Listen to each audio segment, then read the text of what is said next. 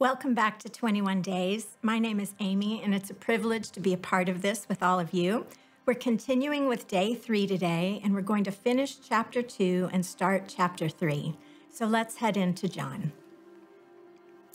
Now, when he was in Jerusalem at the Passover feast, many believed in his name when they saw the signs that he was doing.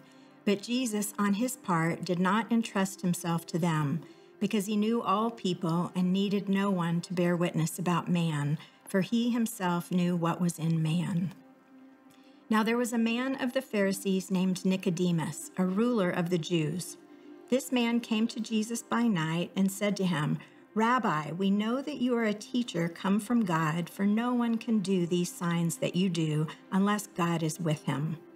Jesus answered him, Truly, truly, I say to you, unless one is born again, he cannot see the kingdom of God.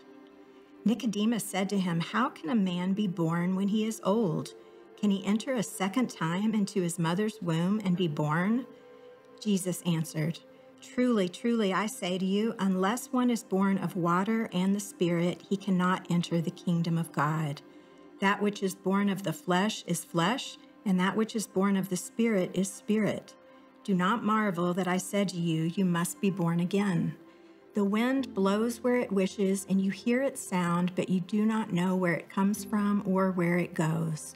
So it is with everyone who is born of the Spirit. Nicodemus said to him, How can these things be?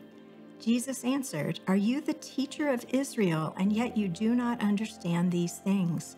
Truly, truly, I say to you, we speak of what we know and bear witness to what we have seen, but you do not receive our testimony. If I have told you earthly things and you do not believe, how can you believe if I tell you heavenly things?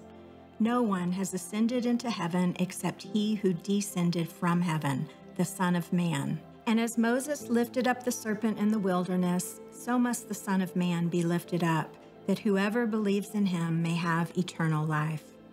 For God so loved the world that he gave his only Son, that whoever believes in him should not perish, but have eternal life. For God did not send his Son into the world to condemn the world, but in order that the world might be saved through him. Whoever believes in him is not condemned, but whoever does not believe is condemned already, because he has not believed in the name of the only Son of God. And this is the judgment. The light has come into the world, and people loved the darkness rather than the light because their works were evil.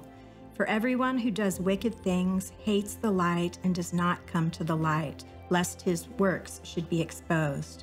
But whoever does what is true comes to the light so that it may be clearly seen that his works have been carried out in God. I hope you all have a great day. I'll be back with you for day four. See you then.